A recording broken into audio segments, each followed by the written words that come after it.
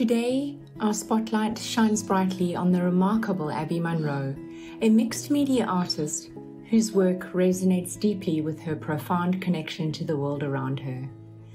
Abby's creative journey is truly awe inspiring. As both an artist and creative mentor, Abby has charted a distinctive course, weaving together artistry, nature, and spiritual awareness. Her creative canvas goes beyond the ordinary Abby shares with us that as artists, we are constantly seeking ways to enhance our creative practice, seeking depth and authenticity in our work. And in doing so, we often turn to various sources of guidance and inspiration. One such source, often overlooked but deeply connected to the natural rhythms of life, is the moon's cyclical phases.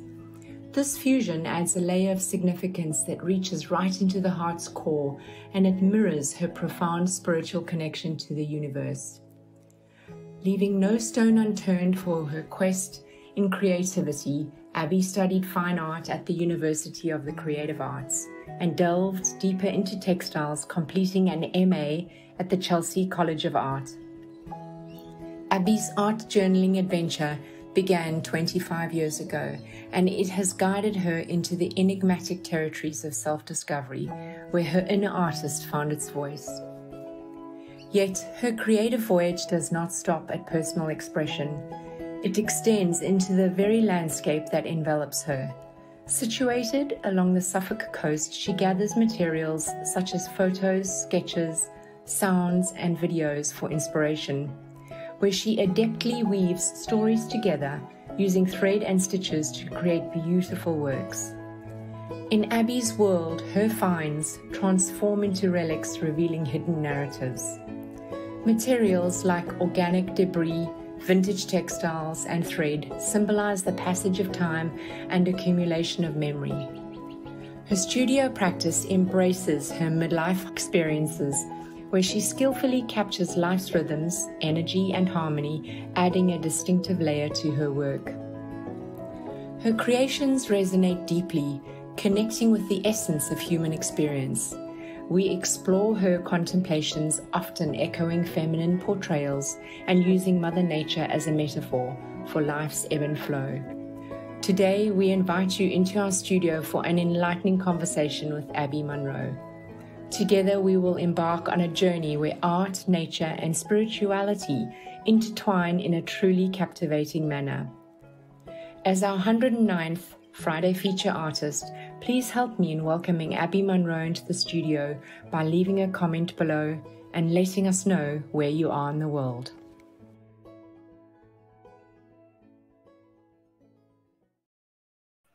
Hello, Abby. How are you doing? Hi, Deborah. God, that was that was pretty overwhelming. That was like I've never heard. Yeah, I haven't had anyone speak about my work like that. So thank you so much. Well, that was came from my heart. It's, it was really beautiful work, and I'm so so. It's such a pleasure to have you here. And when Anne said, "Would you like to take this interview?" Of course, I said yes.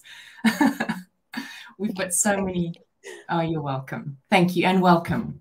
We've got so many wonderful people tuning in, Abby. I thought we could show some of the names. I think you maybe recognize a few friends. Yeah. Welcome, hi. Vivian from Bath. Um, Norfolk, there we go, first timer. There's so many wonderful people. We've got, oh, we've got some fat students here, which is wonderful. Hello, Eva. Alison Lee Coulson. Hello, Ali. This is wonderful. From Israel. Wow. This is wonderful. Look at all these beautiful people. Hannah Loney, the fabulous Lorna Crane. This is oh, just wonderful. Wow, big inspiration. oh, really? That's lovely to hear.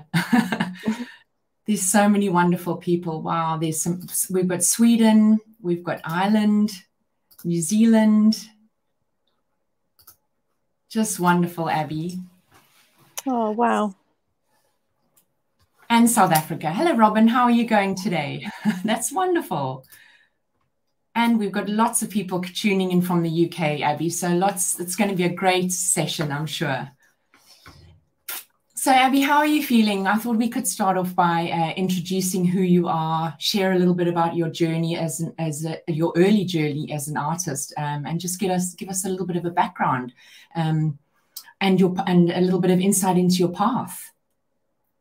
Yeah. So this is a it's an interesting question because I feel like I've um, I'm stepping into a new identity, but it's an old identity. So I moved to the Suffolk coast uh, nearly three years ago now, and just bef- the pandemic and being at home, trying to sell a house, um, I had to find some sort of solace. So I was like, who who do I want to be when I move to this new place? And I made this decision to, even though I'd graduated in art, to be a fine artist and just to step into that identity every day and wake up being that person. And um, even though I graduated like 25 years ago, it feels like this journey's only really just begun, yeah. which is now really exciting. And I think that's to do with um, going through perimenopause and this whole like liminal space that I feel I've been in. And there's a there's a whole new journey in front of me, which is really exciting. Yeah. Um, I was going to ask you what inspired you to embrace a simpler way of life and become so deeply engaged with nature. Is it something that was always inherent in, inherent in you, or was it just? Yeah, I yeah, I grew up in a village, and I always liked sort of quiet. Um, I liked the analog way of life, and I was brought up learning how to cook and bake and stitch and make it was basically homemade everything was homemade and handmade so yeah that was always something that i loved but there was a definitely a, a push pull in my 20s of wanting to go to london and live in london and which i did for a while i lived in south london um, but there was always there was always something in my gut that didn't feel right i always felt like an outsider right yeah. And your move to Suffolk, you said, was three years ago? Mm-hmm. Right. Um, Abby, I took a slideshow, uh, a slide snippet off your website uh, when I was, uh, I'd like to just show this for a second. Um, uh, when I sent it to you, uh, asking if we could explore this a bit more, I loved your response. You said to me, Oh, yes, this is my creative manifesto. I make them to keep me rooted to my truth. And it really helps me when I'm feeling a little bit lost at sea. Mm. So that was beautiful, Abby. Um, and I, I, really read the boxes very carefully. You, would you tell us a little bit more about that? That's obviously a mantra of yours. Yeah, so I've done a lot of work trying to find out because we think about what we're going to put in our art, what symbols, what um, objects. You know, am I painting a landscape? Am I doing still lives? You know, what what is the subject matter? But I always got confused with this because there's so much and a lot of lot more depth to it. So I did loads and loads and loads of mind maps, writing words, phrases, things that I've been researching, and just then I put them into a computer, put them in alphabetical order. Then I could see like if any were repeating each other. Then I printed them all out, and it so that would sort of evolved within like my journals over a few years and then they're the core things that have come out that really stand out and are maybe like the umbrella terms for things that i'm i want to explore in my practice. Does that make sense? Absolutely absolutely. Yeah that's yeah, thank you. That's great. And this was the other slide that I pulled up, which I thought was really beautiful. Um, and I found these words so very powerful. My artistic exploration took me to the edges, to, to took you to the wild edges of yourself. Could you delve deeper into what those liminal spaces meant to you and perhaps tell us a little bit more about this chapter in your life? I love this. This is where I met my artist. Yeah, I think I felt like I was in I was in no man's land and I didn't really I didn't know what direction to take. Um, but then that's when I think I really slowed down and really just connected with the seasons and with nature and started to think about those liminal spaces and how we can if we spend time in them we can start to see our truth and what really resonates with us and those like innermost desires. And i did lots of work on figuring out what it was that brought me joy that what really made me happy. And i went back to when was i most happiest in my life? And i had i did a lot of visualizations um, and my happiest time that came to me was this young 19 year old going off to art college with all her materials and supplies and just like these endless possibilities. And i re tried to keep revisiting that girl and listening started to listen to the music she used to listen to the books she was reading the way she used to dress and just sort of it was um there's a poem as well i can't remember the author calling back that girl.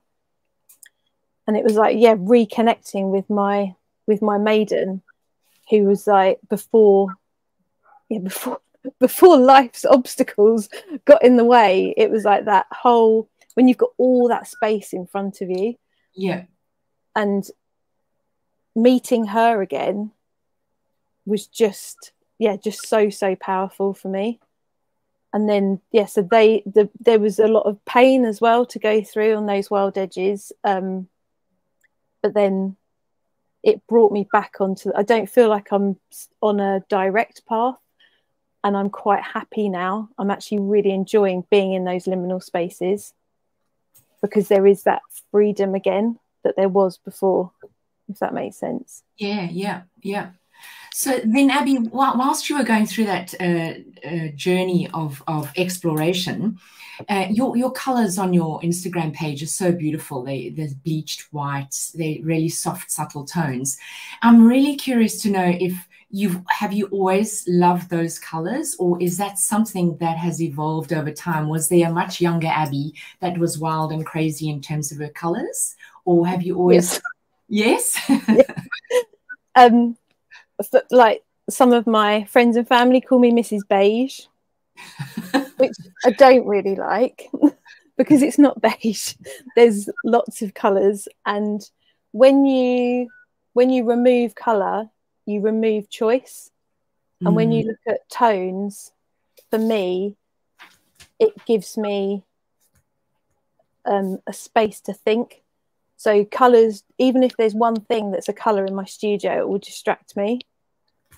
I'm not sure what that is, but my work was um, very monochrome when I was at, um, on my foundation course. And I remember my tutor saying, You need to explore colour.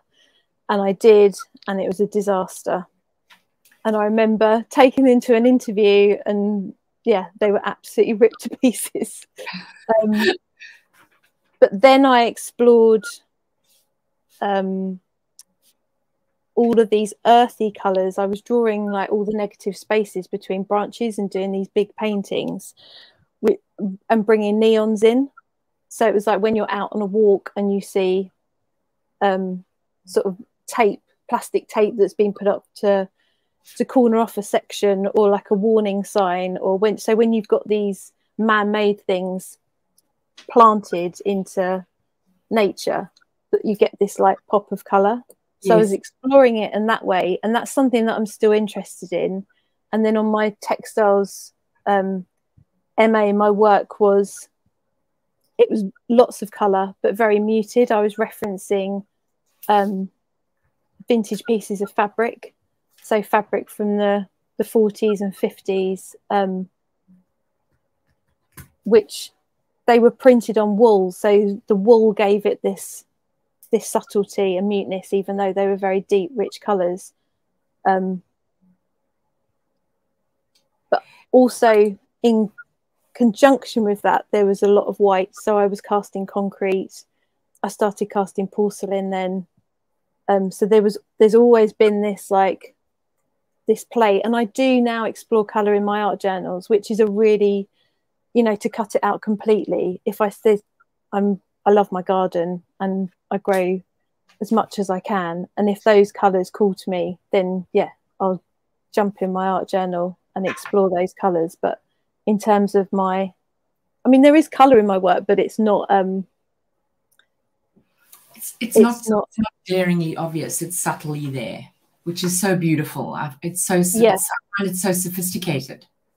I think it's. um I was thinking about my season. Like, what's my season? That's you know, finding your style, and my season is that time that we're coming into now. That end of summer into autumn when everything's bleached and starting to dry out and like seed heads and but they've got their strength and they've had their time to bloom but now they're standing there strong waiting as like architectural forms um you've actually that season.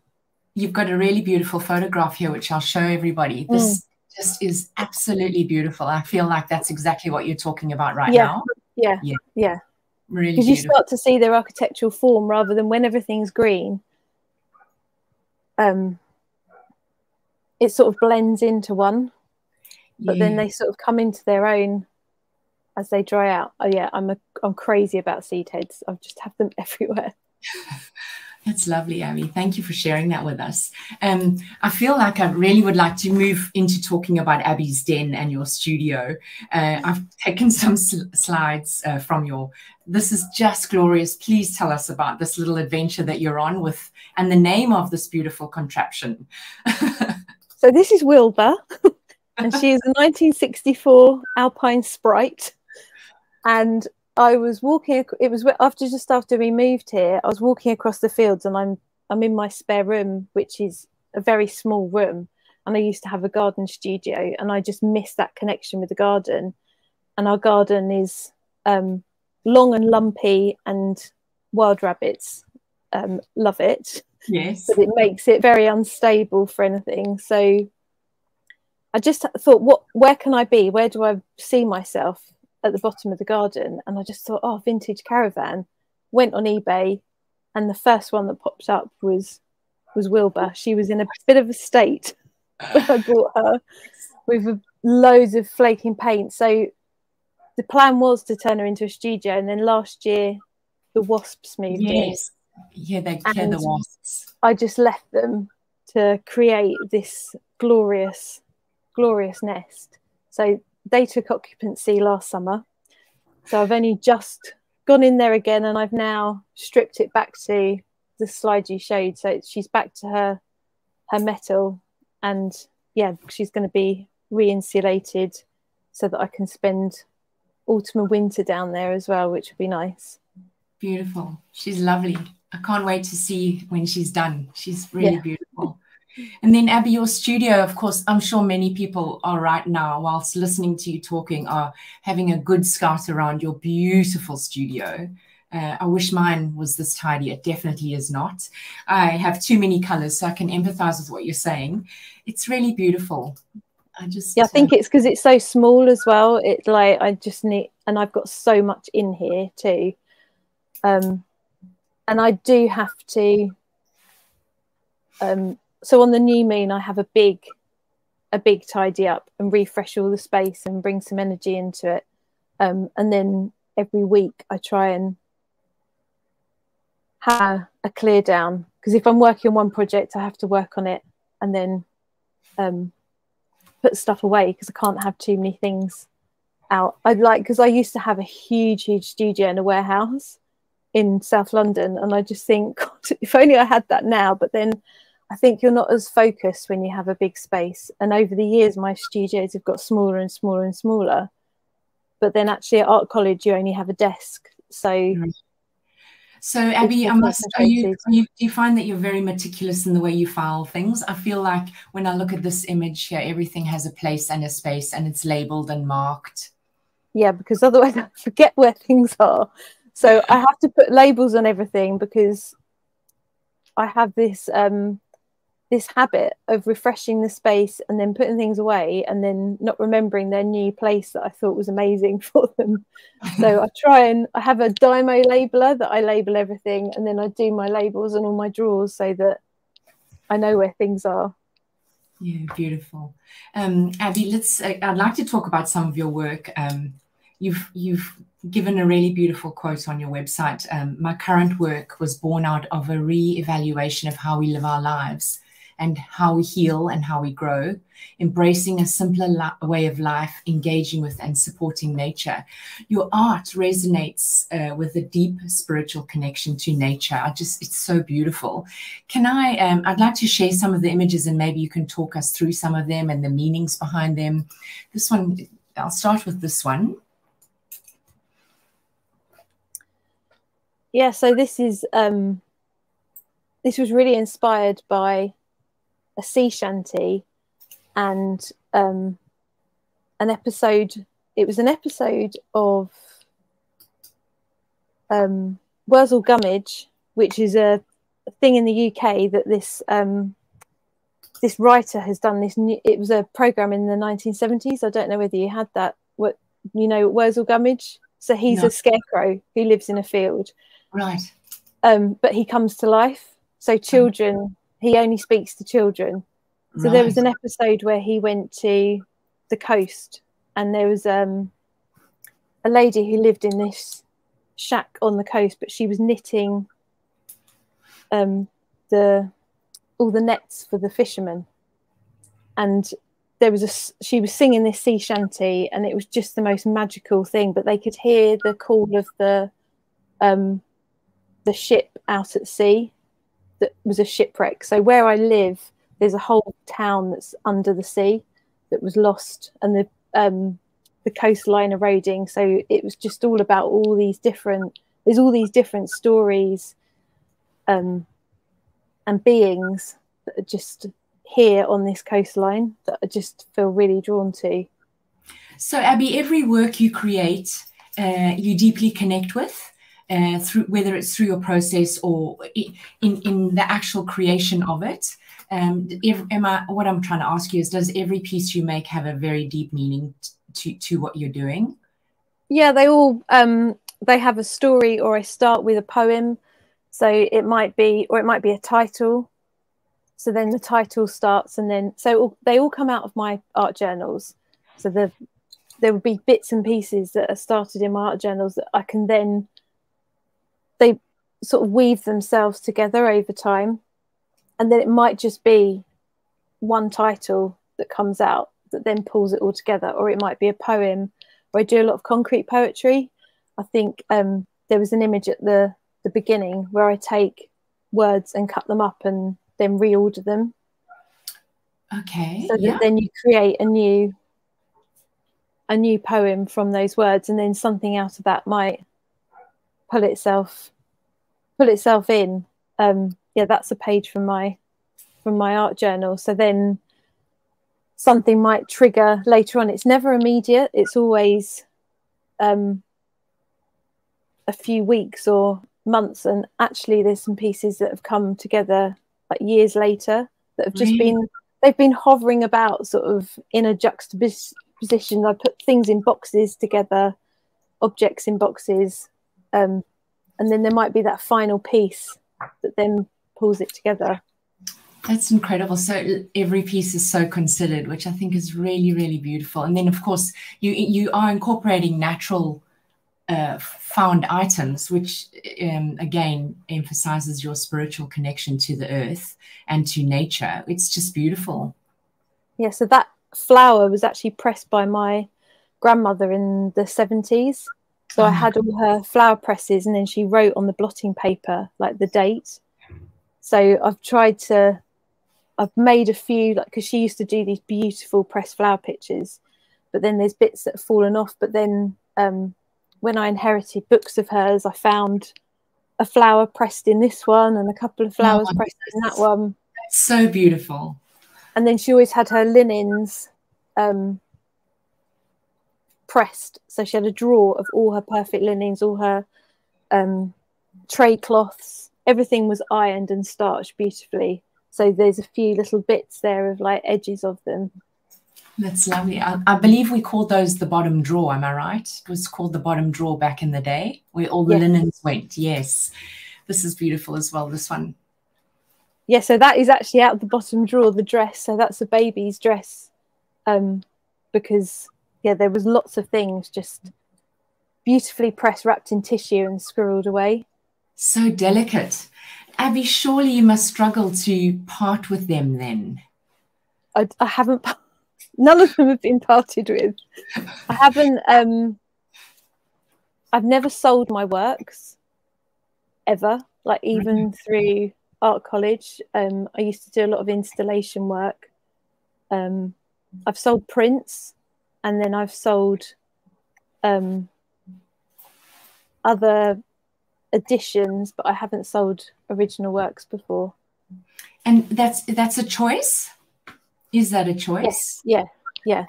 That's beautiful. But there might be an edition that comes out of a piece of work. Yeah. But the actual pieces, um, I feel I need as part of my archive to understand my journey and where I'm going. I don't produce a lot, a lot of work, so um, I mean that might change. That might change in the future, but that's where I am at the moment. Um, when we, when we were having a chat earlier, you mentioned to me that you made an executive decision to turn up and be an artist as opposed to not being one. Um, so I find it I find it really intriguing that you've made that decision and yet you're still you're choosing not to sell your work. I think that's incredible. It's empowering. It must be very empowering. Um, I wasn't at art college. We were never taught. It was like never part of our education to be commercial artists.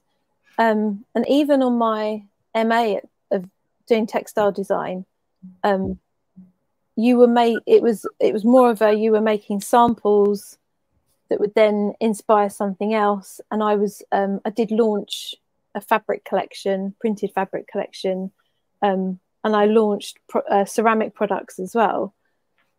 Um, I don't know. I just never seen myself as a commercial artist. But yeah. then maybe, yeah, I do feel that something will, something is emerging at the moment, some sort of an um, set of additions or because I do so much photography as well, and I do the photo montages, that they will then evolve into something that I would sell. So, Abby, that's uh, interesting that you bring up the photographs. Um, would be a good. I mean, I would love to show. I've got some of your beautiful images here. You mentioned you use a vintage camera, which we'd love to have a little look at. Um, I don't see you using the actual photographs in your work, or am I? I am I right? I don't. Uh, yeah. Yes. I, yeah. So the the house is a photograph, right? And in the sea shanty one, um, there was photographs as well. Okay. So I I paint onto the, yeah. There's a photograph underneath underneath right. all that. So I use photo um, transfer medium and transfer them onto to fabric or onto the surface of the canvas, or I use the actual photo and then that's montaged on. So your work has many, many layers in Abby. I can yeah. see that from your images. Yeah. I'll just show some more images for the, this is a lovely one here. I think this is so beautiful. And then I've got a close up of it showing the detail of the, I'm assuming that's porcelain. Uh, yeah, I think it's porcelain. I think there's porcelain, plaster, and maybe some wax on that one. Lovely. Yeah, lovely. And the um, the image on that one was my photographs, but then um, photocopied to do jelly prints from. Oh, yes. Yep. Yeah. Wonderful. So many layers and many processes go into one piece. and I would imagine that since you mentioned that you sometimes have a piece that you still keeping on adding to years later, there would be many layers on those. um yeah, it's more like so there'd be that piece of fabric that then I've dipped in porcelain and then a bit of that might match will be brought together with that photograph and then that will be cut out. So I suppose there's lots and lots of um, of sampling. Yes. And then there's there's a lot of works in progress as well that are just waiting for that that foraged find to add to or that bit of Moment. something. Yeah, mm. yeah. And Abby, so do you ever rip and repair and tear up and you do? all the time. Yeah, yeah, yeah, yeah. yeah. Do you find that empowering? Um, yes, because it, I found it. Um, I think I've got this story in my head and this narrative, and I used to be called Scissor Happy because I used to cut up everything, including clothes, and I still do that. So it's like I don't like that garment. I want to turn it into something else. and I think because I taught fashion and textiles for years as well, so it's that whole. Um, I remember doing a project that I loved, and we were turning a jacket into a, a skirt and a shirt into a um, a dress. So that whole rearranging, I suppose it's um, a form of collage as well. Yeah, it absolutely is. Yeah. But then you've got this narrative like that that's a bad thing to be scissor happy and to not cut things up. So I try and embrace it. I love tearing. That's one of my favorite yes. things. There's nothing better than the sound of something tearing, isn't there? And you don't know where it's going to tear either, and then what edge you're going to be left with, and mm. yeah. So there's there's lots of boxes and baskets of of torn bits and pieces of paper and fabric. That's lovely. I can't wait. So we, Ange and I will come and visit you so we can have a look at all those boxes, I think. um, Abby, I'd love to uh, show some of our viewers um, some of your sketchbooks that you you may have on hand, um, because you mentioned, you know, you started art journaling 25 years ago. So in my mind, that's telling me you've probably got 25 years worth of sketchbooks. No, no. No, so I did lots of sketchbooks at college. Um, I still have one. A few of them were kept by my college. Um, and then I didn't go in a sketchbook for decades. Right. I bought sketchbooks, they sat on my shelf. Hence the fear of the blank page, which we will talk they about. Sat on my shelf empty. And again, it was this sort of visualization that I wanted this shelf full of sketchbooks bursting at the seams with sticky pages and bits falling out of them. And then it was again making that decision that I was just going to jump in. And then I remembered something that we, um, a friend of mine at art college that we used to do with our sketchbooks, and we had to create a lot of sketchbooks back then. So we'd do grounds. So you'd get a whole sketchbook and fill the whole thing with grounds in like right. a day so that you didn't have you didn't have a blank page that you had something to go back onto. And that's something that i i do now in some of them and it's just it's really freeing because you've already got something to yes. to work with. And when you're in flow doing that um you're not you're not thinking about the end result because you know that it's just a surface that you're creating. Yes. Yeah. And you're reusing which is great isn't it? Yeah um, Abby, you've given me some wonderful photographs of some close-up images of your process. Um, I'd love to share them with our viewers so you can have we can have a little talk through some of some of your wonderful layers that you have. This is just beautiful. Yeah, see, I have to remind myself. um, yeah, this is like I've got all these. I bought a huge lot of of different threads. Um, and I think there's like waxed ones, and they weren't um, haberdashery ones, so they're quite coarse. But then I've got lots of button threads as well. I've got that lovely thick texture, so they're all they're all vintage and they're all natural materials. But I've been, I think, on that piece, I've been exploring a lot with tracing paper. Yes. Um, yeah, so the tracing paper and then soaking it in coffee and tea Oh, beautiful. And then screwing it up and ironing it. So it just, I love changing the the surface of something and just playing with the materials to see if you can get different textures and turning paper, taking a piece of paper and then making it have that that movement of fabric. Yep, this is also beautiful. This one I love. I, I love the. It, to me, this bottom corner looks like it's um, acrylic paint that's dried and you've peeled it off. That is a, a piece of paint off my garden table. Oh, lovely. That you've actually it, off. Well, yeah, when it flakes off. So if there's anything, if anything like that happens, I just keep it all in boxes. So I've got like little packets of flaked paint or chips of something or little bits and pieces of different surfaces. Oh, I've got old bits of wallpaper when we scraped wallpaper off. Oh, lovely. Yeah This is also beautiful, Abby. Um, you obviously have a sewing machine, um, yeah. but you do a lot of hand stitch as well. Yeah, I think I was thinking about this um, because I was on my sewing machine yesterday, and I feel that in the spring and summer, my energy doesn't um, doesn't work with hand stitching. I can't sit I can't sit still in the spring and summer. But when we get into late autumn and winter, they're the times that I really want to sit with my hand stitching. So I can see in my studio, and I've been looking through that there's pieces that I started last last winter, and as soon as that spring energies come in, they've been abandoned. And I like the the immediacy of of using the sewing machine. Oh, but then I know that I can revisit those and I feel like a basket so that I have that um, to work with in the evenings and early mornings. Right. Is, so is your studio attached to your home or is it separate? Yeah, so the, yeah, I'm yeah, I'm in a in the spare room. Okay, yeah.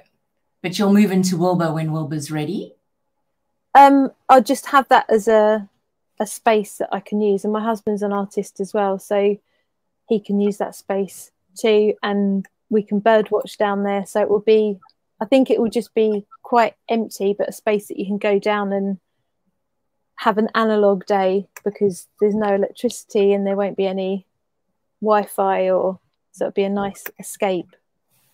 Sounds wonderful, I must say. Um, this is the last image that I had up, Abby. The reason why I asked you about the stitching is because that looks like that's quite a lot of hand stitching in there. And then it looks like ah. you coated the whole thing. So that's actually pencil. Okay. And they're all drawn stitches.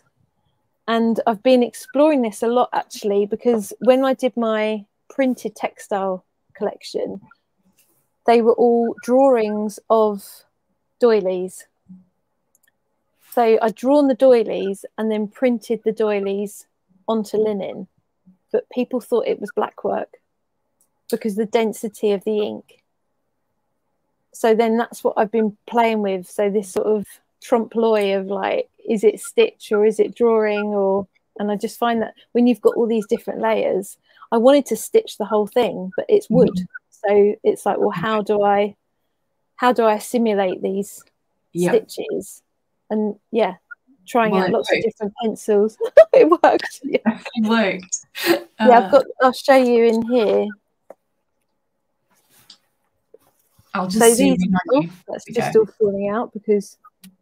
So these pages, they're just watercolors that then I've been going back into and playing with with lines. Beautiful. And, then will you come back and rework them and rework them and rework them? Is that the intention?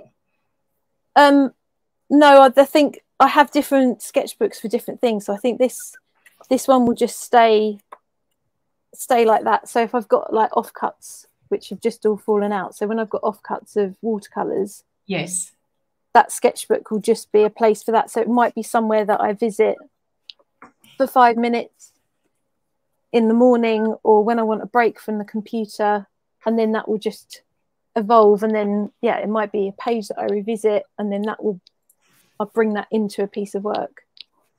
Yeah, that's lovely, Abby. Um, I'll let you have a drink of water. How are you going? Good. It's very holistic, I think, the way that I work. There's no, um, I let things, I let things sort of speak to me rather than trying to dictate. That's helped me a lot. Um, I used to jump to the final piece a lot when I was younger, and I think working with design for so many years as well, it's always the end piece in mind. Absolutely, yeah, that's so true. It's always about the brief and what the end result is. Mm. Yeah, yeah. So it's yeah, where where is this? Where's this process going to take me? And just letting it evolve. Yeah. And also knowing that you can tear it up, yes. paint over it, cut it up, rip completely, it. Yeah, rip it, cover the whole thing, start again, like stick a whole page on top of it. It's like, yeah, there's always this this play. Yeah, it's lovely. Um, Abby, can we talk about your vintage camera and can we show the viewers? Have you got it there with you to give us a little? Yeah, so um, it's a it's a vintage lens that I then use on a digital SLR. Right. Okay. So you can buy, um, if people don't know, you can buy adapters that go on digital SLRs for then certain lenses that you can put on. But the the main thing about this lens is it's got a really low f-stop, so I get loads of depth of field field with it, and there's a real softness to it as well with a a vintage lens. I mean, some of the lenses that I use as well have got hairs in them or bits of dirt, but that's all part that's all part of part of it, which is which is it gives it a softness. So Abby, were these images that I'm showing up now, were those taken with that camera? With your yeah, camera? So that one is because yeah, you get that real wispy, wispy look mm. um, behind. That one as well. This one's exquisite. This. So that was actually taken on my iPhone on a bus. Right. And it was the depths of winter.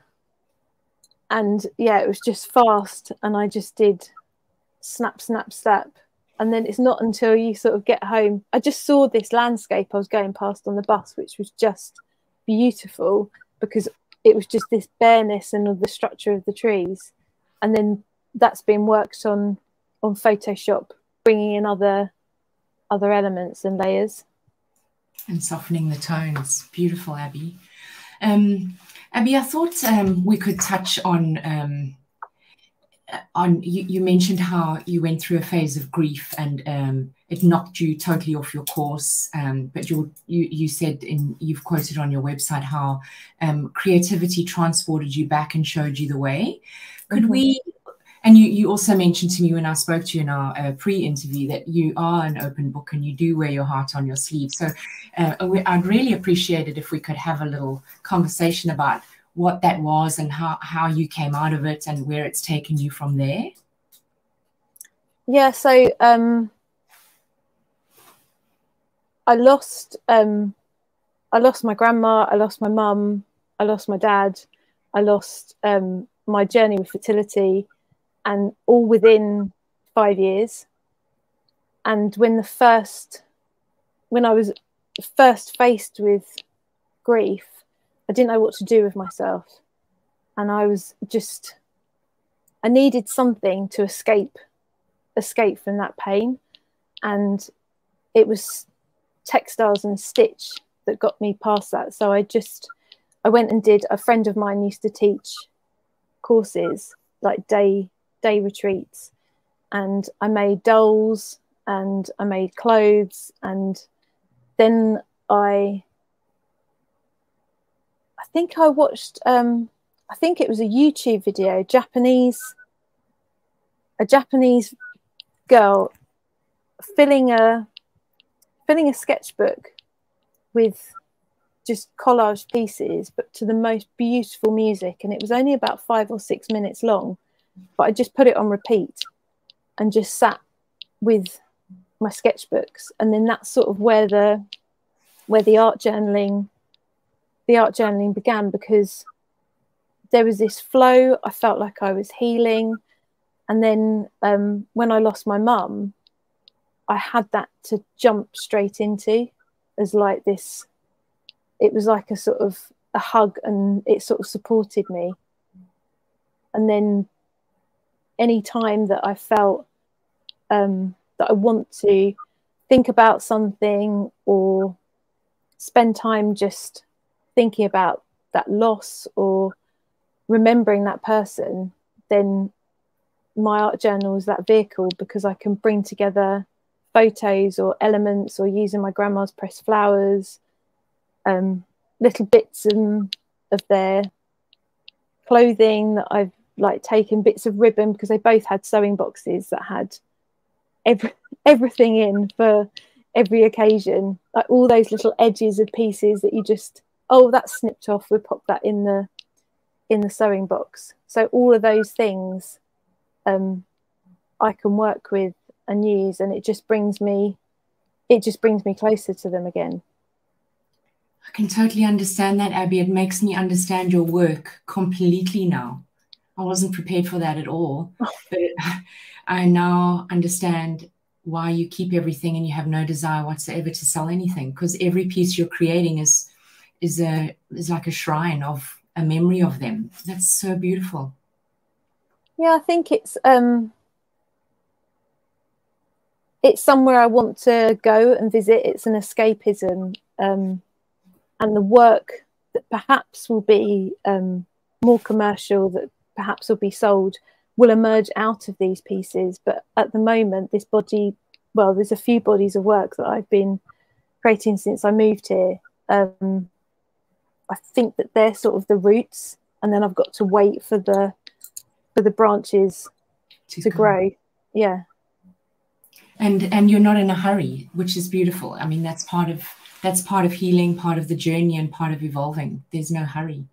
Yeah, and I think when I was younger, I had like huge ambitions and I wanted to win the Turner Prize and I wanted to be interviewed by Melvyn Bragg. And it was just like, I think it was because when I was at art college, it was the whole emergence of the YBAs. So you had Sarah Lucas and Tracey Emin, and it was and um, Gillian Wearing and Sam Taylor Wood, and they were just these like really powerful female artists.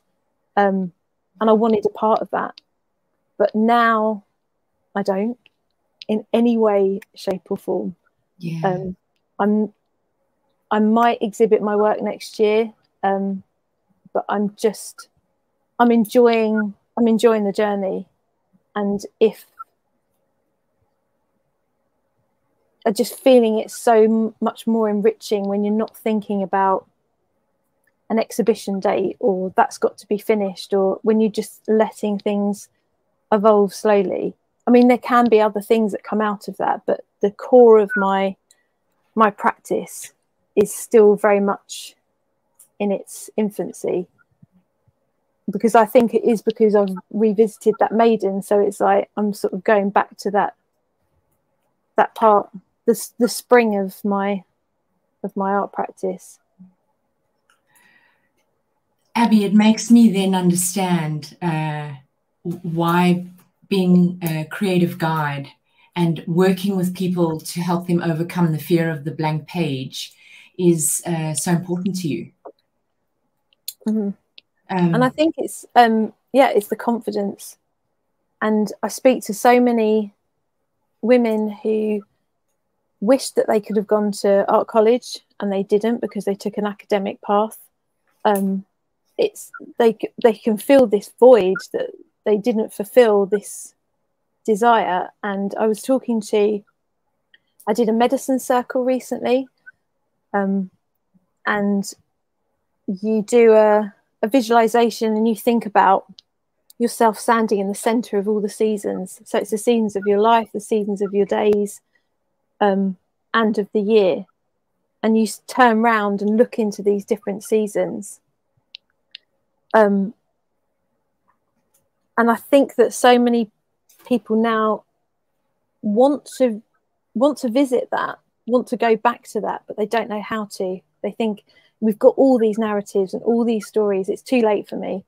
Oh, I should have done that years ago. Oh, I can't possibly do that that now. I'm too old to do that. And it's like we're never too old.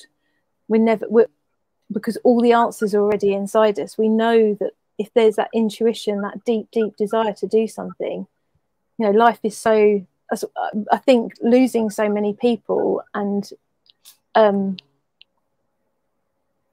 they were all creative people but they never fully stepped into it because of these narratives. I mean my grandmother her her parents very incredibly victorian um, but we're still hanging on to those victorian beliefs and the beliefs of who we should be in the world. And so it's it's helping people find that confidence within that this is okay. And i think it's having um my words they've escaped me. Having it's having the strength I, permission, like, uh, yeah, permission, permission, slip yeah. To have a permission slip yeah. yeah yeah. Because you a lot of people haven't got anyone in their lives who would give them that permission slip. Oh you don't want to oh you don't want to be an artist. Oh no well, what are you doing that for? And it's and i think that's why i've really pulled myself away from the commerciality of it because it's like oh how are you going to make money? How are you going to sell that? Where are you going to sell that? Oh you're going to do this show. And this, if you start doing that at the beginning of your journey then well i personally think it's over because you're you're just you throwing it throwing it all out into the ether yeah. And you and need to learn from it. Yeah yeah. And you're doing it for the wrong reason. So abby um, could you tell us a little bit about how your mentorship and your, uh, you, how your program works so um, i do offer like an hour an hour and a half one-off session which no one's ever done they have, but they've always put we've always then booked in a few more. So, but then there's been some people have taken a gap between that. So, um, some people work with me over three months, so we maybe have six sessions. Some people have a longer gap between, um, and it's different things from finding finding that new path that they want to go on like where do they where do they begin um, to sharing with me their fears about their practice um, i've worked with people who've been through art college who've done masters and they're still haven't got the confidence to show up as an artist because we're not taught that in art school especially not in the in the uk um, so it's a it's helping people and guiding people to find a way back to their practice. And i think that's where a lot of my offerings come in like the i do a 30 day um, art journaling journey so it's the, the basis is to just show up for 15 minutes a day and it's just having a space and so many people haven't got an art studio and you think oh i haven't got an art studio so i can't do it but even just a tray with some supplies on it, a tiny corner of a kitchen table, somewhere that you can go before the world wakes up or last thing at night or just some check-in. So yeah. it's yeah, guiding people on how how they can weave it into their their life, whether they've got all the time in the world or they're super busy. Um, but it's very it's very much an individual program yeah. So I have a, a call with somebody and then we work out what they need and how that can fit into their life and it might it might just be a one-off conversation and they come back to me yeah. a year later or and um, abby you you also um, your workshops you've got a you, you mentioned to me you've got a 30 day art journaling workshop which is starting on the 1st of september and then you've got an art journaling course which starts on the 23rd of september um, so I'm assuming people can head to your website to uh, have a look and sign up for that if they're interested. Yeah, so the 30 day journey I've been doing now. Um, so it's every 30 days at quarter points of the year. Yes. So it's just showing up intensively every single day for those 30 days, but then you have this time either side of it to then work on what you've done in those those art journals. So we do it through each of the solstices and equinoxes. So this one will take us through the autumn equinox. Um, and I'm cre- I will be creating one so that wherever you are in the world, you can start where you are in your season. And then the the course um, I created in 2020, and then that's been added to and grown on, and then that's going to be relaunching just before the autumn equinox. Wonderful. Before we uh, talk about the moon's phases, I want to show you some of the lovely comments that are coming through on the live, Abby. Oh. I think this will really make. Uh, this is from Lorna Crane, who's the most fabulous oh. artist. Yeah. Sure you know Lorna. Those photos are wonderful and have a delightful essence of place. That's lovely. Thank you, Lorna. Um, Eva, thank you, Eva. That's beautiful. And then from Vicky, there is hope for me. I can't sell my work either, but I have to make it. I know exactly how you feel, Vicky. Just let's yeah. keep making. I agree with you on that. but you like that. We all love Wilbur.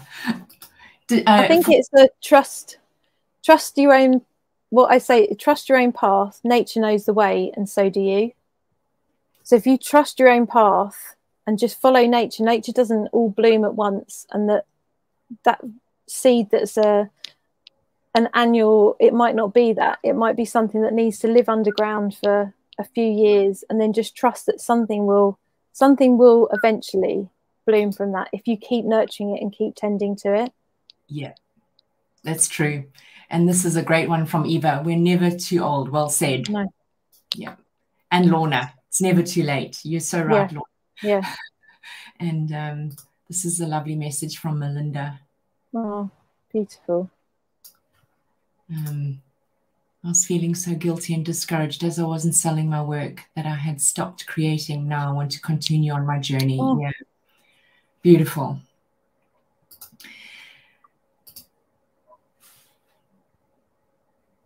Oh, that's lovely. Oh, thank you. There's some really beautiful comments. Abby, you've certainly touched a lot of people tonight. What a wonderful mentor. I have to save pennies and get that permission. That's lovely. Um, Abby, I'd love to touch on the moon and um, the moon cycles. Uh, I, before I before I start, I must mention to everybody that in that beautiful introduction, some of those words which you which were yours, um, in this pursuit, we often turn to various sources of guidance and inspiration.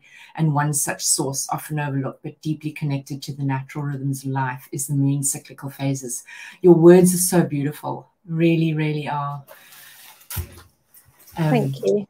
Um, I think uh, if you could just talk people through how that how that phase works, what your plan with it is, it's very it's very intriguing for someone like myself who literally is hearing about it for the first time from you.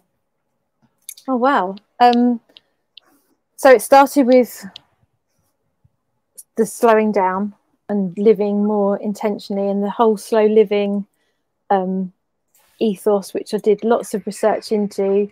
Then I moved into minimalism and decluttering and Maria Kondo, and then it's like it just there's all these different layers that I keep putting on top. Then I started looking at the moon phases, and it's taken me a couple of years to really to weave that in to reject. It was a rejection of, and maybe this was about four or five years ago. The whole January new intention, you know, setting everything up in January and then feeling awful by the end of January because all those resolutions have been forgotten about. And it was just re-looking at re-looking at the whole year in a completely different way. So i follow the wheel of the year the celtic wheel of the year. So we the year begins um for us here sort of autumn. So it's like that you're gathering all of your seeds and harvesting and then preparing for the winter and then so going through all those things um and looking at looking at the whole year completely differently in terms of cycles and then the moon cycle comes in and then our own menstrual cycles comes in and then i've done um, lots of reading around how women's menstrual cycles would sync up with the moon and you had your cycle on the new moon or on the full moon. And it just made so much sense because our hormones whether we're menstruating or not go in cycles. We have fluctuating a cycle throughout the whole day. Um, so connecting that time of the moon and now that i've lost my cycle through perimenopause i was there was a grief there as well because i wanted to be now that i'd sort of started learning all about this cyclical living that there's a time in your menstrual cycle when you're menstruating to have time for reflection and then your energy increasing. And i was like oh, i wish i'd known this like in my 20s but then connecting it to the moon i can have all those phases and they might not be connected to how my my hormone levels are but it's a grounding and it's something it's constant. And you know that there's always going to be a new moon and there's always going to be a full moon and then the cycle begins again. And then what i've tried to do over the last few months is weave that into my art practice.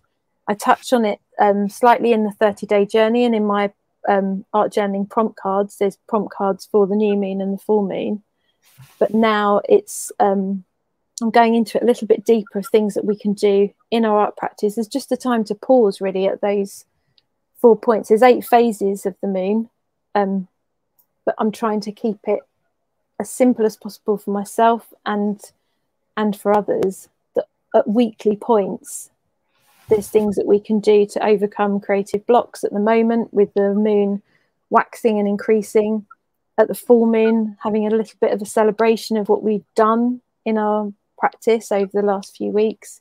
At the new moon, taking time to set some intentions. What do I want to accomplish? I do it um, for, I used to do it as well for seasons. So it's like, well, what would I love to, what would I love to be able to see in my studio by the end of spring? How do I want to feel as we move into um, spring and go through the equinox? But sometimes that can be a bit much and a bit overwhelming, and that list becomes too big. So doing it on this smaller moon cycle, you can then see it as a bigger picture, but it's really beautiful to just take, even if it's just five or 10 minutes once a week, to just connect with that phase because we can't, I don't see how we can ignore that the moon can't affect us. It's yes. been there it's been there since the beginning of time and it's like that's how we've evolved and we used we must be the same as animals that they behave differently in the full moon and new moon and i think for me being out in the countryside and being able to see it as well i think when you can't see it that's that's really it's really difficult to find that connection but mm-hmm. now you've got um NASA's website is incredible. Um, to see the moon phases and there's wonderful apps as well that you can have on your phone. Um, and i think it's something that you've just got to gently gently think about to maybe weave in and it might not work for you. It might not work for you but even if you just took it as a time to pause and reflect. I think you're right. I think the the idea of um, acknowledging it is the first step, and then by, by acknowledging it, you're thinking about it, you're aware of it, you'll mm-hmm. start understanding what it's doing to you. The fact that you're bringing it into a creative approach uh, is is incredible, and uh, yeah, I think it's incredible. I mean, you're right. We have heightened energy at certain times of the month, and how is that translating into our creativity? What are we doing with that energy? You know, are we going for a run or are we going into the studio? So. Mm.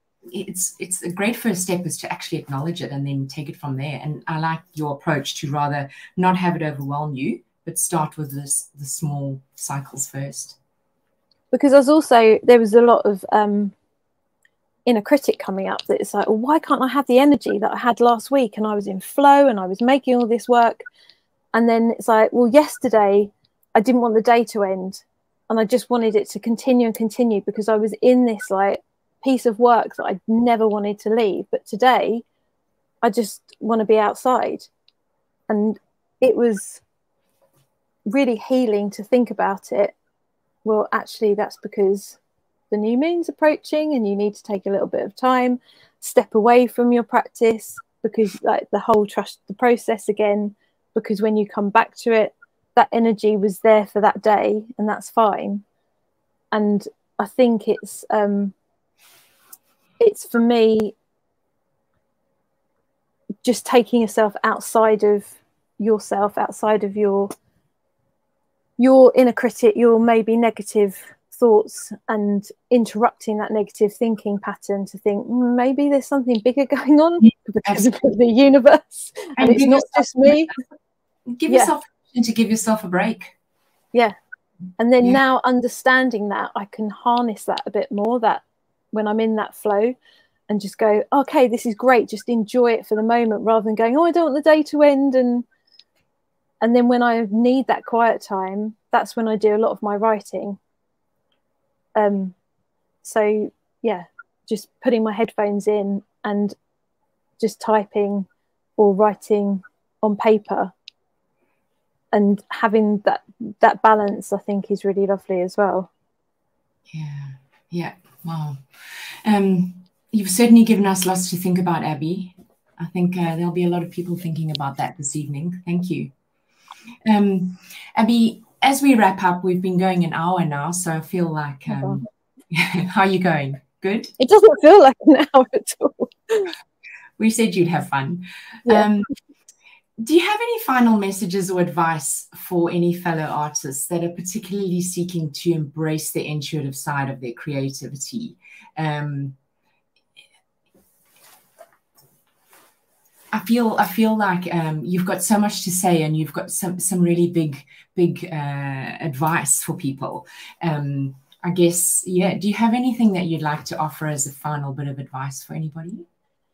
Yeah, I think if you're not feeling, if you're not getting those gut feelings or knowing what direction that you need to go in, it's about finding finding a place where you can hear those those whispers because um, sometimes it is just a feeling, but you can't actually hear what it is, and that might be out walking in nature. It might be listening to music that you haven't listened to for years. It might be um, a time when you're on your own, or just giving yourself. I think giving yourself some space to try and listen, listen to what is your real truth, rather than all of the voices that are in our heads and calling them out as well.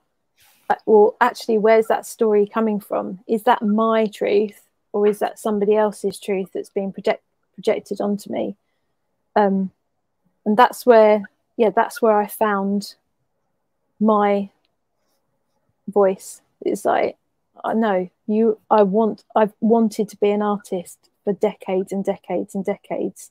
So why am I not showing up every day as that artist and just yeah putting those shoes on and seeing how they feel for a bit and it might not be you might feel it's not right but i think being an artist is not about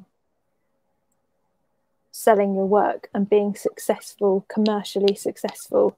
Um, there's an artist Phyllida Barlow who died recently. She was at the Venice Biennale mm. um, representing the UK but she says in an interview, um, why not all work has to be seen, and how much work she made over her lifetime that was never seen by anybody, but it was part of her journey and enriched her process so much. And I think it's yeah, just trusting that. And it's as soon as you hear somebody else saying that, it's like, oh, okay, that's okay. And I think, yeah, maybe in this digital world and social media, we've been sold this narrative that we have to be exhibiting and selling, having sell-out launches, sell-out collections, every piece with red stickers on it, and that's not that's not the journey of an artist in its truth. Oh, that's lovely, Abby. Thank you so much for sharing that with us. Well, Abby, I must say thank you so much. It has been an absolute pleasure chatting with you and getting to know you and talking about your process. It's been really, really wonderful. Thank you so oh, much. Thank you. Um, I hope you've enjoyed it as much as we have. I have. I have. Thank you. Will you stay on the line and we'll have a little yes. private? Thanks, Abby. Thank, Thank you. you.